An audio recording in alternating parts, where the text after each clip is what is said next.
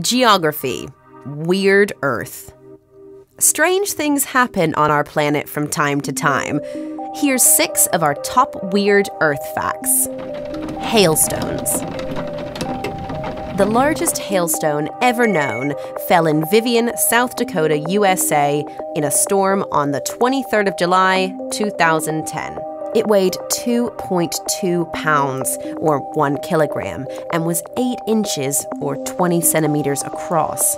That's about three times the width of a tennis ball. Hailstones are formed when ice crystals form near the top of cumulonimbus clouds. They then fall through the cloud, picking up water. Powerful updrafts hurl the crystals back up, and the water freezes onto them, making them bigger. They do this many times until they are heavy enough to fall to the ground as hailstones. Raining creatures. In 1873, the citizens of Kansas City in the USA were pounded by frogs falling from the sky. Almost a century later, in 1968, Acapulco in Mexico received a bombardment of wriggling maggots.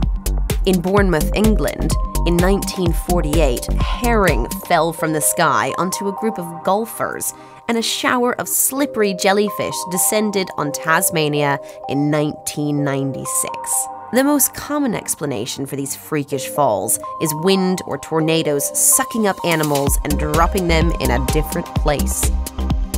Bloody snow. Don't be alarmed. It may look like a crime scene, but this red stained snow is completely innocent. Scientists believe this type of snow is stained by microscopic red algae called Chlamydomonas nivalis. If the snow is compressed by standing on it, the density of the red cells in the algae increases and the color deepens. Northern Lights Usually, Earth's magnetic field shields us from the stream of charged particles radiating into space from the Sun. However, some particles get through near the North and South poles, where they energize atoms high in the atmosphere. This creates spectacular displays of color across the night sky called the aurorae. Aurora borealis is found near the North Pole, and Aurora australis near the South Pole. Lightning can strike twice.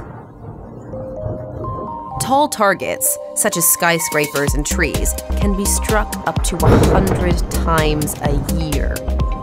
Lightning strikes about 8.6 million times a day.